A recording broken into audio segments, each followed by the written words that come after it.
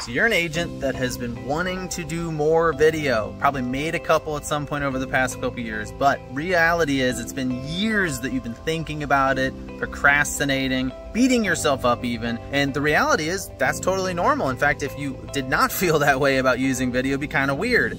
The problem is you are not building the habits that will lead to this becoming a normal, regular part of your everyday life. But there's a process that you need to go through to get to that point. You gotta have clarity around who your customer is so you can decide what they're gonna wanna hear from you on a regular basis, find where it overlaps with your own interests and passions and pain points so you can define content pillars and then develop a system and plan for regularly making content around those pillars.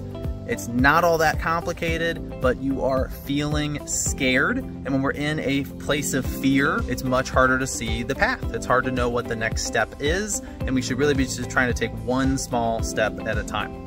So if you're in that situation, that's why we developed the real estate video roadmap, right? This is a step-by-step -step process. It's the core of our entire school. We actually created a 12-page guide that breaks down how you should use it in your business, right? So if you'd like a copy of that guide, just comment below, just say roadmap, and I will send a copy over to you.